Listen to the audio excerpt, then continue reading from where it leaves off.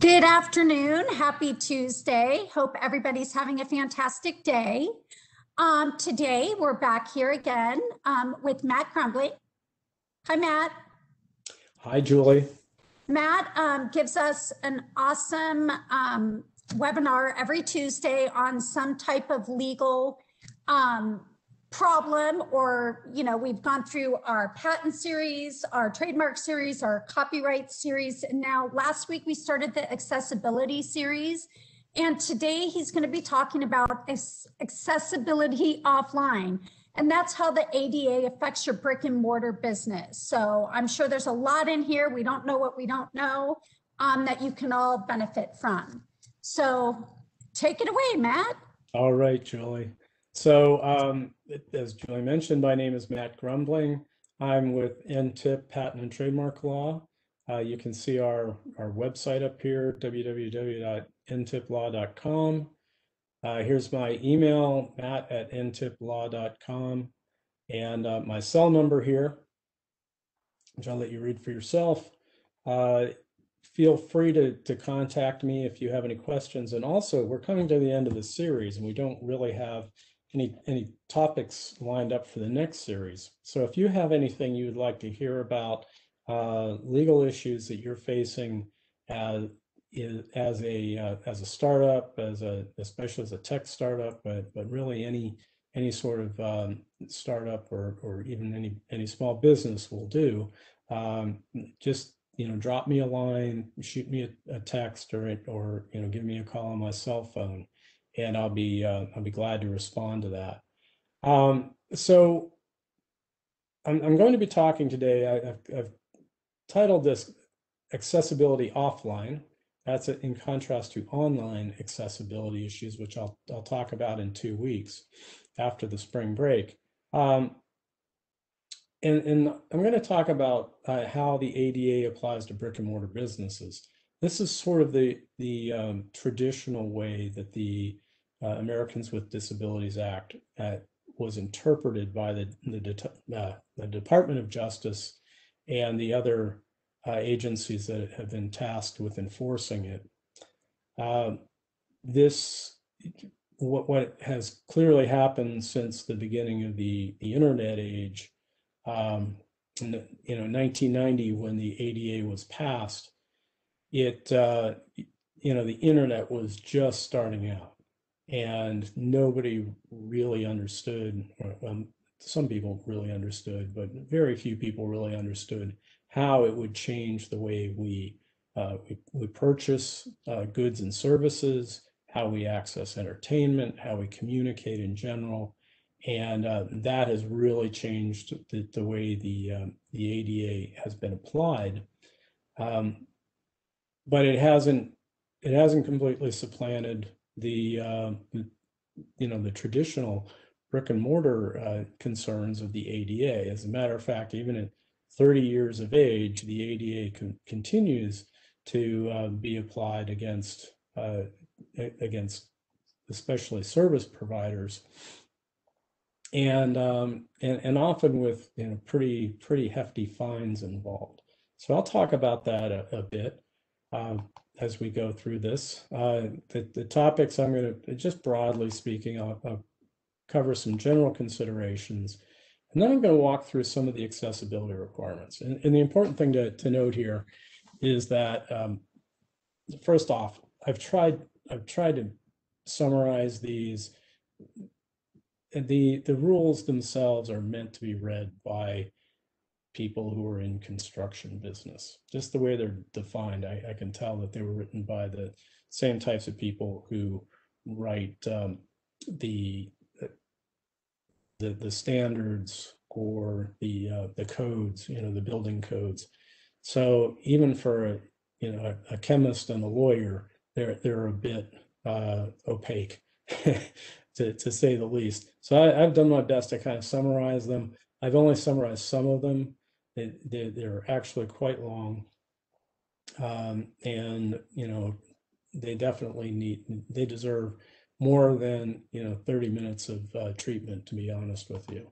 Um, I, I'm going to mention now that the ADA uh, does apply to existing structures, but a little bit differently than, uh, and by existing structures, I mean those that were in place at, at the ADA's inception, which is 30 years ago.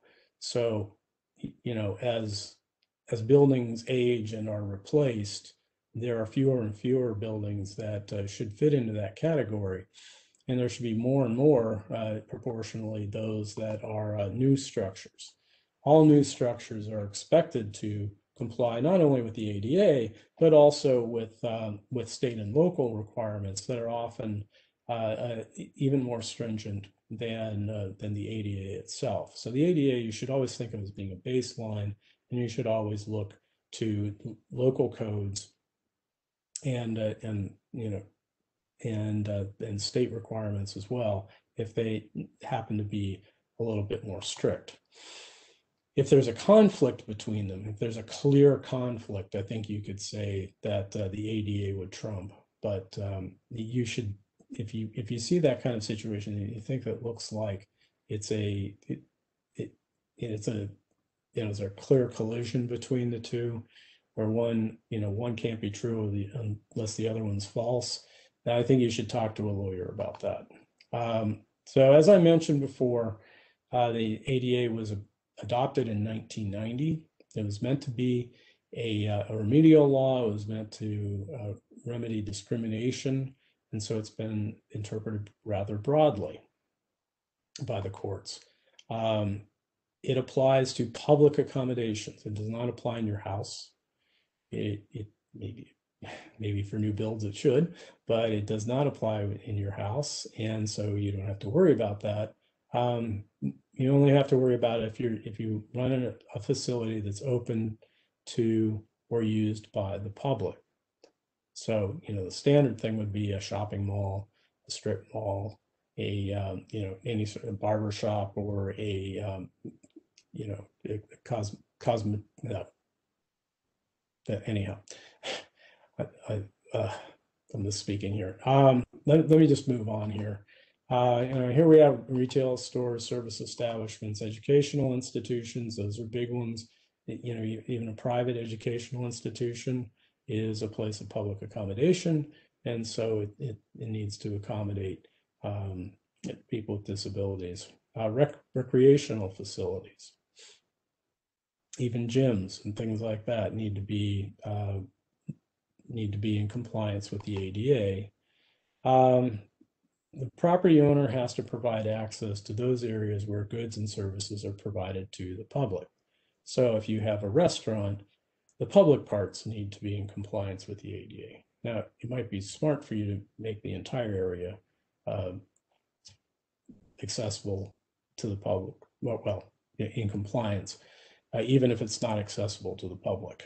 Um, But what you're required by the ADA to do is bring your those sections that are accessible to the public into compliance.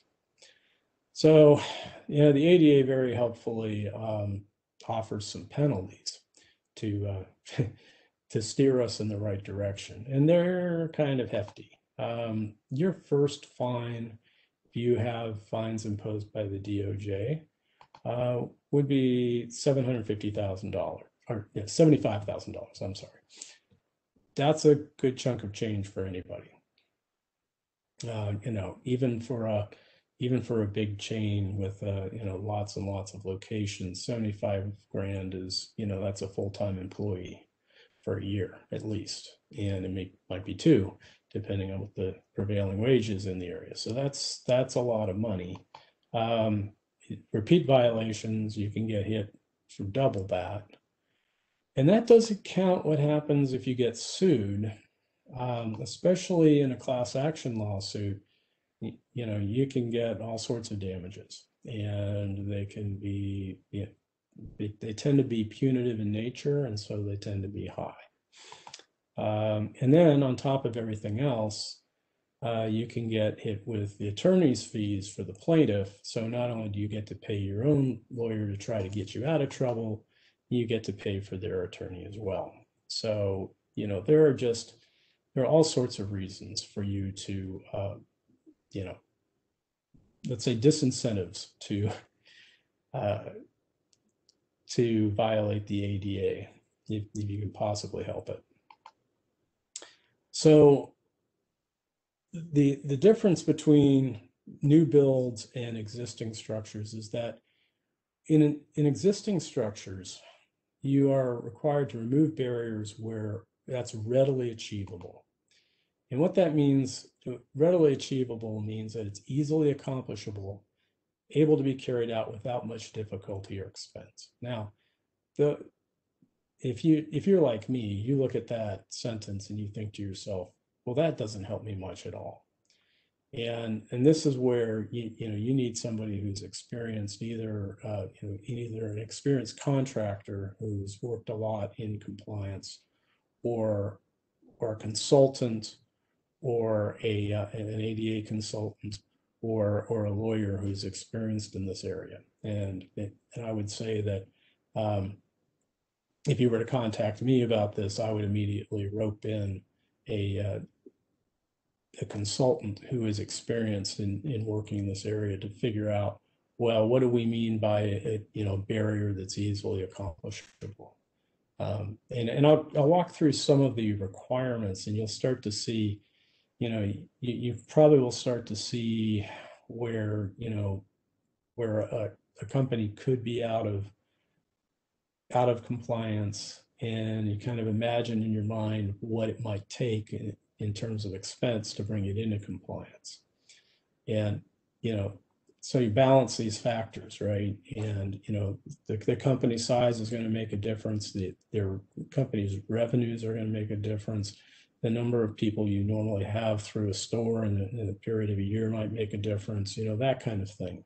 So these are things that have to be balanced out and there, you know, um, there are guidelines out there that you, you need to follow but uh, nothing counts as much as experience with this kind of thing. So um, you have to do it where it's readily achievable. You have to remove barriers where readily achievable, even if you weren't planning on doing alterations or renovations. Now, if you are planning on doing alterations or renovations, then you know the requirement to re to remove um, barriers is even higher because there you're already going to spend the money. Then I think the the amount um, the amount of extra that you would have to spend uh, is probably marginal compared to if you were not planning on doing these. You know, you would probably um, you know the expenses would be higher uh, compared to what you were planning on spending. But in any case, the fact that you are going to remove barriers uh, or the fact that, the, that you're planning on, um, you're not planning on doing alterations or renovations is only one factor. It doesn't, you know, it doesn't really absolve you of removing barriers where it's readily achievable. Now, what the Department of Justice recommends is that you adopt an implementation plan. This is basically a, a list of areas where maybe your existing structure is out of compliance. If you have a new structure, you should, you know, it should be built without obstructions, ideally. And we'll walk through what some of those might be. But um, but this implementation plan would be in order to remove barriers and in, in an existing structure. And what you're doing is you're sort of triaging what the um, you know, what your worst problems are and what your most expensive problems are. Put them in a list of, uh, you know, kind of worst to, you know, least obstructive barriers and, and then put some costs on those things and then prioritize them in terms of achievability so that you can you know, knock them out. And if you, you know, let's say you put put in place a two-year plan or a five-year plan or something like that, and you're and you're clicking through it, then if somewhere along in that time you're you're clicking through your list and you're making progress on it and you you know DOJ gets a complaint about your business you can show them the implementation plan where you stand in it where you know how you're making a uh, you're making a good faith effort to comply with the ADA requirements if you do these things then the DOJ is going to be a lot more forgiving toward you and at least you'll you know you maybe avoid that $75,000 hit for for a violation. Now, that may not absolve you of uh, of liability if you get sued, but you you know you can you know believe me dealing with the DOJ unfortunately with them you know they're they're kind of worse than a court in a way because they're not going to balance any equities or anything like that. They're just going to look at it. They're going to kind of look at their their list and go, well, that that's a you know that's readily achievable on our list, so you're going to pay seventy five thousand dollars. You don't want that. Um, if you're interested in looking at the requirements, uh, they can be found at this horrendous website, um, or you can just go to ada.gov and follow the links for the, the 2010 standards, the 2010 ADA standards. And, um, and you can you know, click over to an HTML that will uh, you know, give you all the standards. We will, I, will give Julie a um, PDF copy of this presentation and she can put it up on the website so you can access it. Um, so I'm going to walk you through some some exemplary requirements here. Um, one of the, one of the biggest ones, this one seems to to get an awful lot of uh, activity in terms of lawsuits, is wheelchair access. So you need to have wheelchair accessible ramps. Um, entrance ramps should be no more than 8.3% grade. That's 1 in 12. Uh, no more than 30 inch rise for any ramp run. And parking lots should be no more than 2% grade. So, and if you have any doubts about whether, you know, whether your particular um, structure meets these requirements, uh, you know, you can go out and, you know, get a get a laser level or something like that and and check these things out.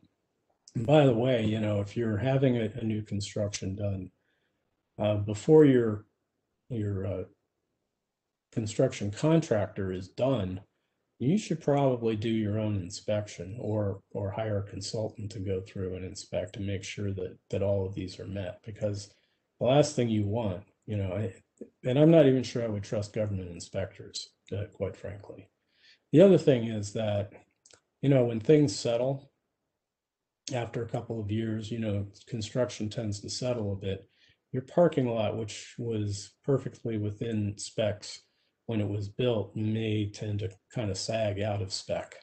And you may need to think about, um, you know, getting it repaved or something like that to bring it into spec. And I'm always surprised when I find a, a parking lot that's really bad um, because there, you know, there's just no way it can be in compliance with the ADA when it's filled with potholes and whatnot. It, it's going to cause accessibility problems for people in wheelchairs. Uh, accessible doors. This one, I think the biggest one about accessible doors is that you need to have a you need to have a smooth kick plate on the side where you have to push, um, so that the so the wheelchair uh, the, the person in the wheelchair can can you know, kick that door open and uh, and roll the wheelchair through. So that's a that's a real big one. That the these specifications are super technical. If they find that you're uh, and I, have misspelled within wrong there, it's, you should be within, not within. Um, but you know, if they find it's nine and a half inches, you're you know you're technically in violation, and you need to get that fixed. Um, and I'm, I'm going to skip through that. Those, you know, these are, these are, uh, you know, added requirements for, for accessible doors. But, you know, the, the biggest one, you know, well, they're all big, quite frankly. If they find a violation, that's a violation. Um, dining is a big one. Um, 5% of each functional area of the dining surfaces must be accessible. What do we mean by functional area? Well, from what I can figure out, it means if you have a bar, 5% of the bar needs to be accessible. So if you got 20 seats, one of those seats has to be accessible. You might think about making two accessible in case, you know, that the person in the wheelchair wants to eat with somebody else. Um, well, you know, well, what do we mean by wheelchair accessible? Well, it's got to be low enough and they have pretty tight specs on, on, you know, what's low enough. Uh, if you have indoor and outdoor uh, dining, your indoor and your outdoor dining both have to be at least five percent uh, compliant.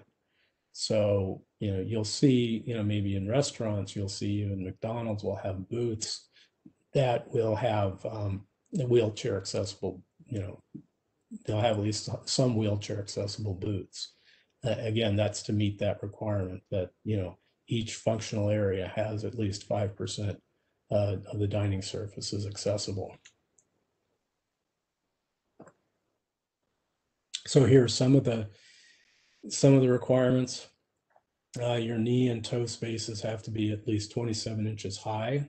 That means you know you've got enough clearance to pull that wheelchair up and uh, underneath the the surface, at least 30 inches wide, so it's wide enough to get the wheelchair in there, at least 19 inches deep, so that the um, wheel wheelchair bound individual can get the you know can get the feet up underneath there and actually reach the surface. Um, the table and counter tops. So, you know, this, the 27 inches is to the bottom. Um, the, uh, the tops can, uh, can be uh, from 28 to 34 inches from the ground or floor. So while this is a minimum, uh, these maxima, like 34 inches is the maximum, and you probably want to want to shoot, you know, well between those two, you know, in order not to have problems you know so it you know talking with my my ada consultant friends um parking lots are a big problem. Dining areas are a big problem not not being you know having situations where a diner can't reach something. You know say you've got ketchup packets and you're sitting in a wheelchair and you can't reach up to grab ketchup packets because they're way up here so one of the things you need to think about is getting things down on a lower level so that anybody can anybody can reach them. Restrooms are one of the biggest problems, um, and, and, I'll and I'll show you one of the one of the uh, big problems as we go through here. You know, they're just hot spots that, um, and and the way these folks work is, um, you know, because there's that attorney's fee there, that, that's sort of an incentive for attorneys to uh, to get involved in these cases. And it was intended for that to be the case with the ADA. The, the drafters of the ADA felt that um, it, that not enough people would take advantage of it if there weren't an incentive for, for lawyers to get involved. So the American rule of jurisprudence is that if you have a lawsuit between two individuals, they each pay their own attorney. Almost, you know, I would say 98% of the time. And there, there are a few cases where fee shifting goes in place. Uh, that's usually because one of the parties behaved very badly during litigation. But the rule under the ADA is there's there's a presumption that the uh, the defendant, that would be the, the violator or the business person, however you want to think about it, uh, is uh, is going to pay the the fees for the um, you know for the, the, the disabled person who files the suit, unless it's just a completely unmeritorious suit, which they rarely are. Uh, the ADA is fairly difficult to comply with, and it's fairly easy to find violations. So restrooms are a huge one. Uh, you know, they will send a person in a, in a wheelchair in. Uh, that person will go to use the restroom, find a violation, complain to the manager in order to get it documented, and then roll out and file a lawsuit. And they can they hit an entire strip mall in an afternoon, um, or you know, you know, every restaurant in a, in a certain area, and and you know, just you know, essentially rake in the dough at least that you know the lawyers will. Um, and if there's a class action lawsuit, then the defendant can end up making a, a good amount of money out of that as well. Um, here's some examples. A unisex restroom must have a sign. I don't know if you've ever seen this kind of sign around. Uh, you might have thought, as, as I did at one time, that that had something to do with civil defense or something like that. That's actually the universal sign for a unisex bathroom. And you can see that it has uh, a, a partic- particular characteristics to it. Um, you might not have thought about the fact that it was a, you know, at least a 12 inch diameter uh, circle. In this case, it's a dark circle. It has to be, uh, if it's a dark circle, it has to be on a light background. If it's a light circle, it has to be in a dark background. Uh, then the, the triangle in the middle has to have the vertex at the, at, at the top. Um, and then there are all these other dimensional requirements for it. And, um, and if, if you don't see that on a unisex bathroom, it is technically out of violation, or it out of that is technically a violation. And it has to be 58 to 60 inches above ground. If it's 62 inches above ground or 45 inches above ground, it's in violation. You can see how this, unless you're, you know, whoever puts the sign up is paying attention and knows the rules, you know, you can see that's going to be easy to mess up. If it's on the door, it needs to be within one inch of the vertical center line of the door. Now, there are also bathrooms, and you've probably seen these at the, um, mostly I've seen them at the airport, where there's no door, there's just an entrance. Then you can put it over to the side, but it still has to be 58 to 60 inches above ground. Uh, here's some more requirements. And this, and, and believe me, this is just the, the tip of the iceberg. I haven't hit every particular thing. Um, but, you know, now if we're, if let's say we have men's and women's bathrooms uh, demarcated, uh, there has to be a pictogram, uh, you know, either male or female, or, or it could be both. Um, it needs to be sans serif uh, uppercase lettering raised 132 inch um, height of 5 eighths inch to 2 inches. Um, it has to have braille in a horizontal format. It has to be um, 3 eighths to 1 half inch below tactile characters, flush left or centered. You know, you can just see that these are, you know, these, these are fairly technical and you really have to be paying attention to the detail. They're really spelled out. So you know what you have, you know, if you go through all of these requirements, they're, they're very well spelled out, but they're also highly technical. Unless, unless the person who's installing these things, um, first off, knows to install them, and secondly, installs them properly, you can end up in a, with a violation. Um, so bathrooms, I've said here, uh, turning space complying with 304. So there's a section that refers to another section. I left this in here. I thought about kind of dumbing this down and taking it up. And I thought, you know, you should really know that there are places where in order to know what's what you're what you need to do to comply with one section, you need to go look at another section. So you can see that this thing gets a little recursive. It's a bit like following a, a complex computer program in a way. Um, anyhow, the, the section 304 says that uh, it, you know, circular space has to have a 60 inch radius. You can also have a T-shaped space within a square, and it has to have 30, at least 36 inches arms and base. And you have knee and toe space of at least 25 inches. So you can see, you know, they've, they've really tried to think through everything in order to make it so that it, you know, somebody in a wheelchair can get in. And, and what they're normally, and this is what they're normally concerned with. This is what they're normally concerned with it, with accessibility is just imagine somebody in a wheelchair. It, certainly there are other people who have uh, who have disabilities other than wheelchair bound people.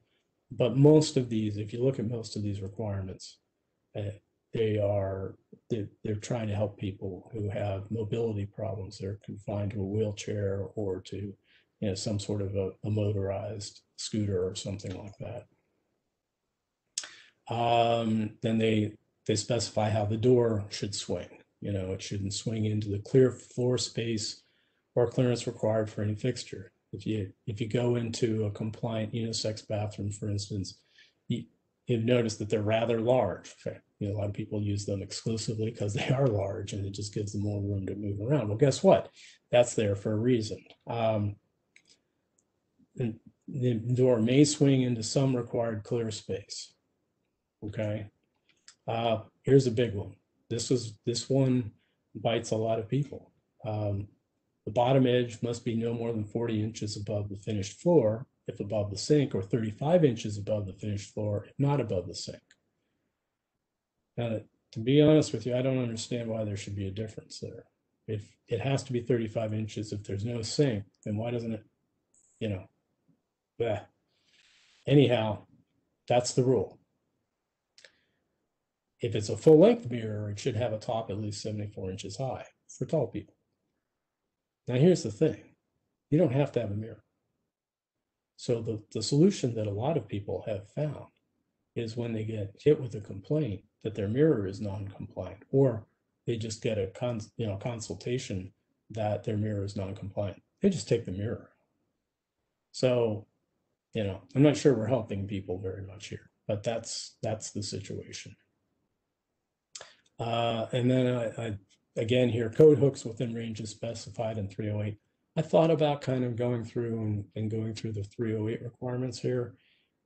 Uh, it would take too long, and, and I don't think you would remember it anyhow. So suffice it to say that there are different requirements for different situations. In fact, it, it underscores a, a point, you know, that that I'm going to make a little bit uh, farther on. But I may as well just mention it here that when you have code hooks and ledges and, and you know, shelves to, to put things on, again, they're mostly concerned about somebody sitting in a wheelchair and having to reach up and and grab something or reach over and grab something. The idea is to put it within arm's reach of a of a you know normal adult human being. And um, if you put yourself in that mindset, you'll you'll be you'll be pretty far down the road to figuring these things out when they you know when they require that well if it's in this size space or if it's you know if there's a let's say there's a um, counter here and there's a shelf here, well, the counter can't be any more than 10 inches deep and it can't be more than a, you know, a, a reach of 44 inches or something like that. And I, I just made those numbers up, but um, that's what they're getting at here. And so that, you know, that's the mindset you need to be in when you're, when you're going through these things. Um, let's see, again, shelves, 40 inches max, 48, uh, that kind of thing. Um, there's a lot of stuff about what the water closet has to be. Water closet is the place where the, you know, the, the separate partitioned area for a toilet. Um, it needs to have a uh, have a wall or partition to the rear of the side, and it has to be at least it needs to have a center line that's uh, 16 to 18 inches from the sidewall or partition. Why? Because it's got to have a grab rail on it. And you got to be able to reach over and grab that grab rail in order to, to stand up or move around. Um, clearance, um, you have to have 60 inches minimum side to side, 56 inches front to back. You need to have grab bars. Again, they have to comply with section six and nine. That's another section. It's a rather long one, and uh, and it's rather complicated, but um, but it but it is. I mean, it's understandable. It's just it would be a lot to put on a, a slide. Um, let me just talk a little bit about, you know, I've talked about all the negative stuff. Let me talk about some some positives. Um, there are tax incentives, you know, to comply with the ADA. Um, depending on the size of your business, you may get tax credits, tax deductions, or both.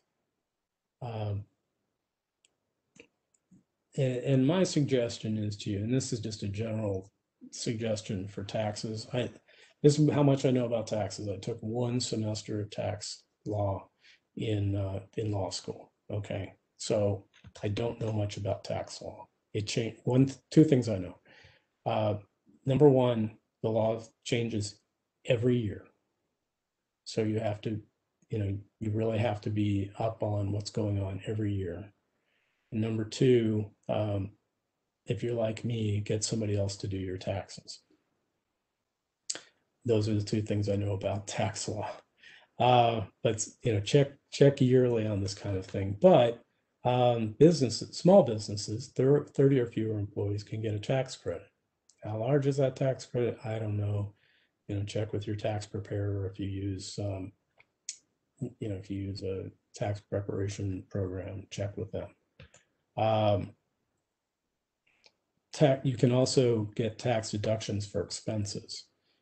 Uh, these may or may not be in addition to just normal ordinary uh, tax deductions. So uh, those are, you know, they, they, the, the federal government tries to help you out, and there may be state and local tax incentives as well. So, you know, yes, it's expensive. Yes, it's a pain in the neck. Yes, there are predatory attorneys out there, predatory uh, plaintiffs.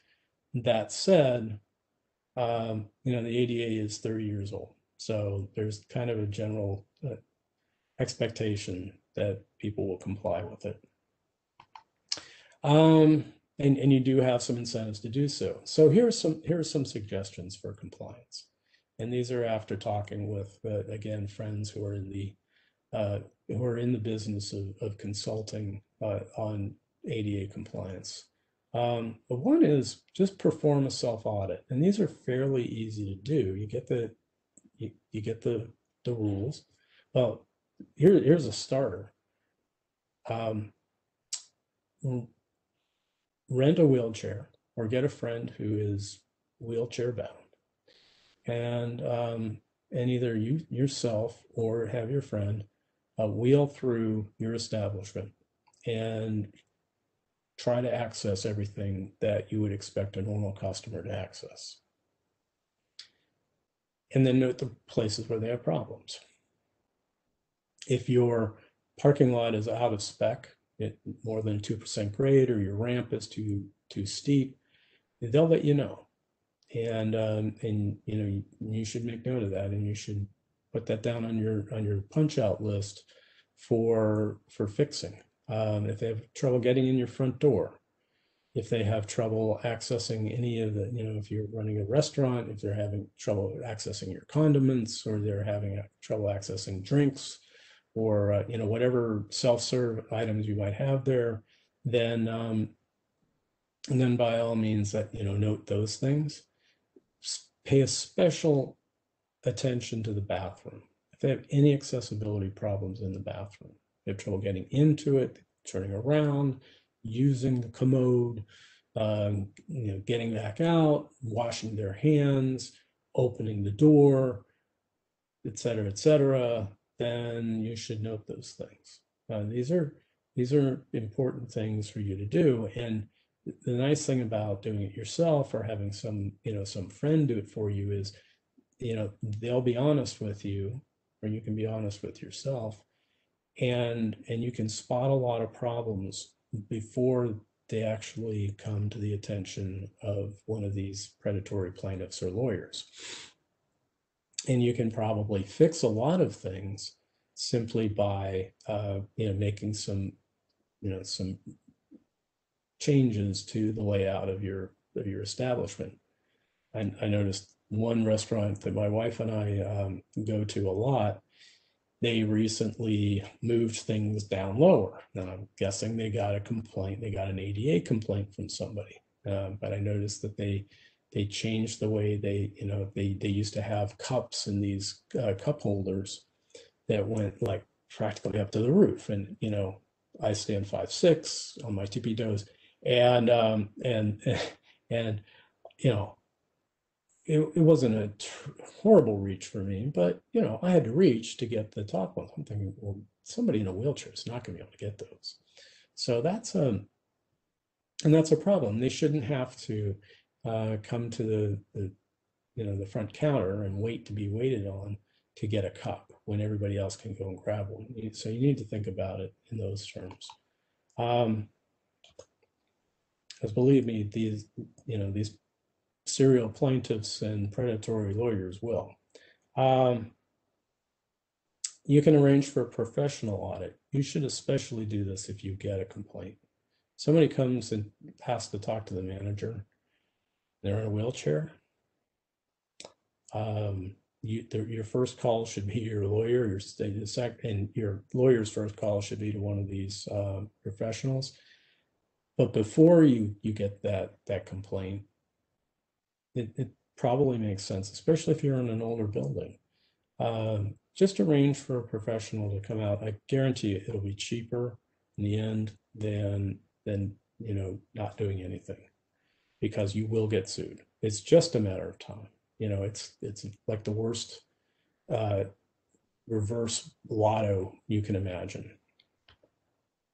Uh, if you are sued, don't try to get out of it yourself. Okay, you you know, it's like like I tell everybody, just lawyer up. You know, um, but this is especially true if you get sued. You get a if you get a letter from a from a lawyer, lawyer up. Um, let things. I know you're thinking, oh, it'll get expensive. It's already gotten expensive. If you if you get that letter, it's gotten expensive. So you're now in try to keep the expense reasonable land. Uh, you're you're past the I, I'm going to do this on the cheap land. It- that's way in your rear view mirror. Um, you this remediation plan, I have it here under if you get sued. Um, you're definitely going to want a remediation plan if you get sued. It'd be nice if you already had it in place. It'd be great if you had that professional audit done and you know you you or or even if you did a self audit and you had a remediation plan at least then you've got some sort of um, you got something to say look you know your honor yeah we know we've got some problems but this is an older building and we're we've been working on it and look we're you know we're six items into our 10 item uh, punch out list and um, and you know we, we plan to address these other four you know, on, on the following time schedule. And, uh, you know, and the court may say, well, you know, we really think you should accelerate that, but, but, you know, you've tried hard and stuff. So, you know, um, you know, no damages, yay. And, uh, you know, uh, yeah, you don't have to pay the attorney's fees, something like that, maybe. In any case, your, your situation is going to be better if you've already got that in- in place. But if you don't have it in place before you get sued, you definitely are going to want to have it in place after you get sued. In the order you want to go in, so you want to hire your lawyer and let your lawyer get the consultant. Now, before you get sued, before you have a complaint lodged, the best thing is do a self audit to, to kind of spot any really big issues at the UCF and then hire a professional to come in and kind of clean up where you may have missed some things. Okay. Because there are going to be all sorts of technical things that you didn't think about that probably aren't that important, but they're the kind you, you probably would have caught most of the worst ones with the self audit. But the professional audit's going to catch all the technical ones that, that will that you know will come and bite you if you get one of these predatory attacks. Okay. So that's all I have for this uh, for this topic. Um, if I've offended anybody with my terminology, you know, predatory, uh, this or you know that. Um, first off, if I've offended any lawyers, sorry. Um, sort of. Uh, if I've offended anybody else, I really am sorry. I, I don't mean to uh, offend anybody. Uh, the ADA is it's very important. Uh, it was adopted for very good reasons. It was uh, championed by Bob Dole, who I respect very, very much, who himself had disabilities, and um, and and it rose above them. And um, you know, I, I hope everybody takes this seriously because the consequences of not, and not just because it's the right thing to do, which it obviously is, but uh, because if you don't, it can really it can really harm your business. So um, I'm going to stop sharing now, if that's okay, Julie. And uh, Yes, thank you so much. That was really informative. You know, like I had mentioned before, we don't know what we don't know. People just don't know. So um, it was great for you sharing that. Um, I'm sure a lot of people got a lot of information out of this. Um, if you missed some of the webinar, you want to go back, you want to refer it to a friend, just as I say every week, we record these. And you can go back and find them on YouTube on the City of Surprise Economic Development page. So um, if you missed any of Matt's awesome series, they're all stored there for waiting for you to watch. So we actually are not having a webinar next week um, on Tuesday. It's spring break week. Uh, but we will be back on the 23rd, I believe, um, talking about um, Yeah, the ADA is applied to the internet. Yeah. Yes, which is crazy. I, I'm really, ang- I'm excited to hear about that because I would have no idea how that would even pertain to anything. So, um, anyway, I look forward to seeing you on the 23rd and I hope everyone has an awesome week. And thank you. All right. Thank you, Julie. See you- Okay, see you on the 23rd. Right. Bye. Bye. Have a good spring break.